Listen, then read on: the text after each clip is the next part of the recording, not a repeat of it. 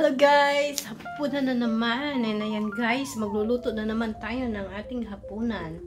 So, ang lulutuin ko guys ay ipapakita ko sa inyo mamaya. Dito na ako sa labas at magluluto na tayo ng ating hapunan.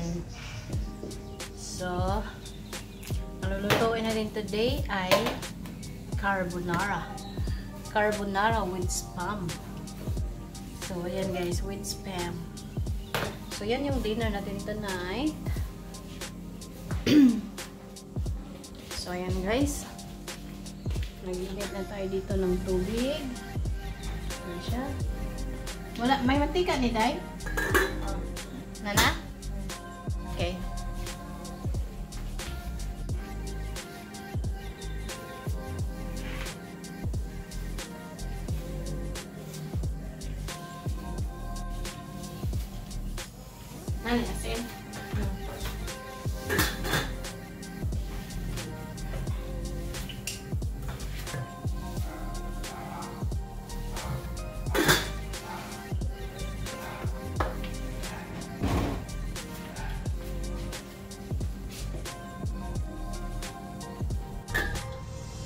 So, hi guys. Ayan. Uh, ilalagay ko na yung ating noodles.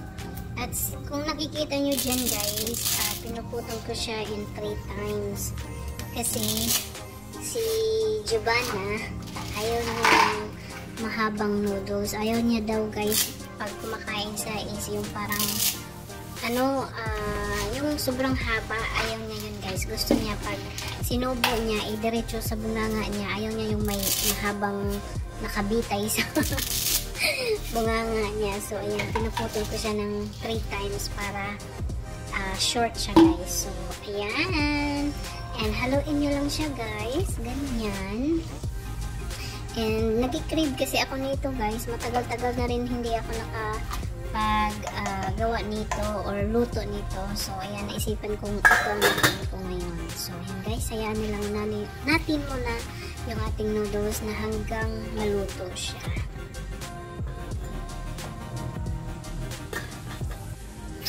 So, ayan guys, by the way, nahiwa ko na yung aking sibuyas at ngayon ay hihiwain na naman, naman natin yung spam.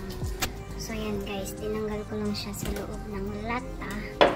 And, ayan, start na tayong maghiwa. And, punas, pinunasan ko pala siya guys kasi medyo mabasa-basa siya. So, ganun pala yun guys. Kailangan mo punasan pag mabasa siya.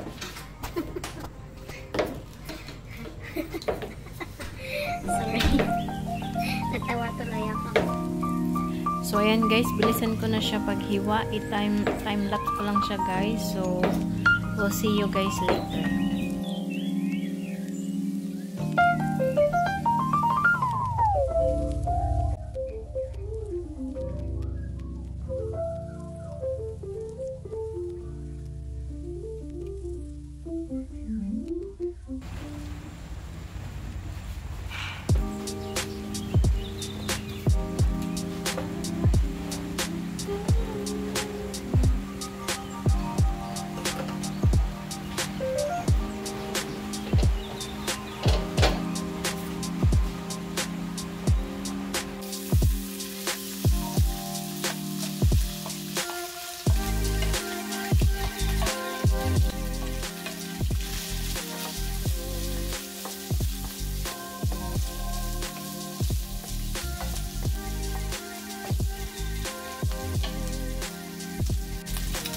Ayan guys, medyo brown ang ating spam. But, iba-brown pa natin yan ng brown na brown talaga. Para masarap. Pag brown, mas masarap siya guys. Mas malasa. So, ayan. Ayan na lang natin muna. Ah. Honey, honey. Ayan, bumisita ako dito ni husband sa labas ng kusina.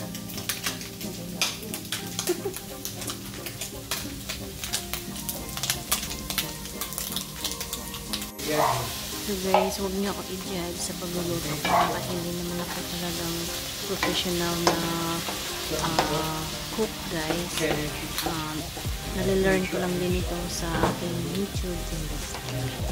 Doon ako nag-aaral ng pagluluto guys sa YouTube industry. So, ayan guys. At nilagay ko na yung sibuyas, mushroom, and ayan. Haluin nyo lang yan siya guys.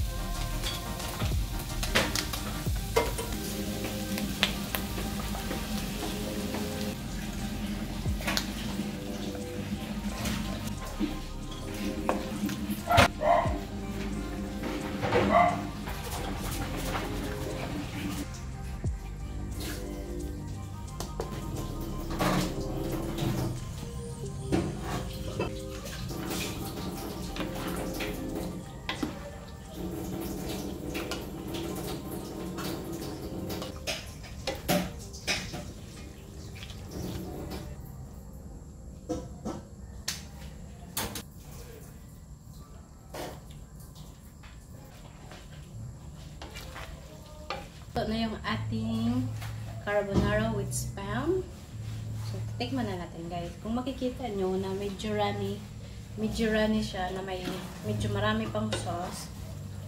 Ah, sinadya ko talaga, talaga yan guys kasi yung asawa ko, yan yung gusto niya. Gusto niya may sabaw-sabaw. So, guys, kahit mag-aadobo ako or kahit anong luto ko guys, kailangan madaming sabaw kasi yun ang gusto niya. So, anong gusto niya, sundin natin. So, yun guys, tikman na natin. Walang tinidor-tinidor to. ah.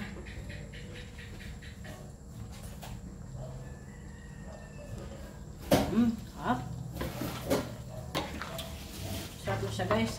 Manami ng cheese to mamaya pag kain na. So, ayan guys. Luto ng ating carbonara with spam. Madali lang guys. Sobrang dali lang yan. Simple lang din. So, ayan na siya. Luto na. Takay na tayo. So, yan na mga kamagandang buhay. Luto na yung ating carbonara with spam. Thank you for watching. See you next time. Bye. God bless.